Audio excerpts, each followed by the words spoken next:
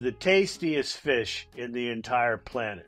It's called the Chilean sea bass. Its real name is the Patagonian toothfish, but that doesn't roll off the tongue on the menu. But prepared correctly, it is wonderful. A close second is actually farm raised catfish that's been prepared with mustard sauce and spices. Nice, firm, just delicious. And of course, there's also striped bass prepared at a white tablecloth restaurant sushi style. Just melts in your mouth. What are your thoughts?